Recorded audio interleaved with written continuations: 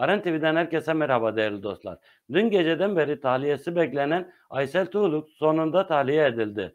Cezaevi önünden e, ilk görüntüler geldi. Bir e, kısa videomuz var değerli dostlar. Bu videoyu sizlerle paylaşacağım. Paylaşmadan önce bizlere destek olmak için bu yayını beğenmeyi, kanalımıza abone olmayı ve bildirim zilinizi tümü olarak işaretlemeyi unutmayın. Evet değerli dostlar, Aysel Tuğluk'un ilk görüntülerini hep beraber izleyelim.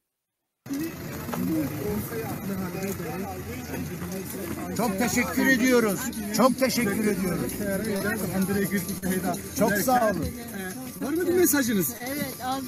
Mutluyum. Çok mutluyuz. Çok mutluyuz. Çok teşekkürler. Kısa bir şey söyler misiniz Aysel Hanım? Çok geçmiş olsun. Çok geçmiş olsun. Böyle e,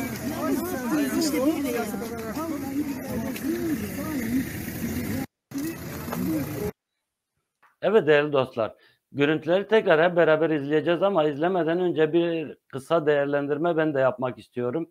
Görüntülerden de e, sizin de benim de anlayacağımız Aysel Tuğlu'nun durumu gerçekten e, sağlığı ciddi anlamda e, bozulmuş durumda değerli dostlar. Umarım en yakın zamanda tedavisine olur. E, buradan kendisine geçmiş olsun dileklerimizi ve sevenlerine geçmiş olsun dileklerimizi iletip videoyu hep beraber izleyelim değerli dostlar. Çok teşekkür ediyoruz. Çok teşekkür ediyoruz.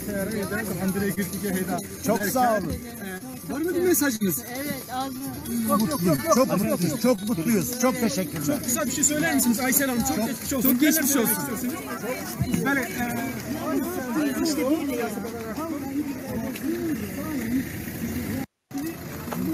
Evet değerli dostlar videomuzu tekrar izledik. Ee, bugünkü haberimiz bu kadar. Ee, Aysel Tuğla buradan tekrardan e, sağlığına en yakın zamanda kavuşma dileğiyle diyorum.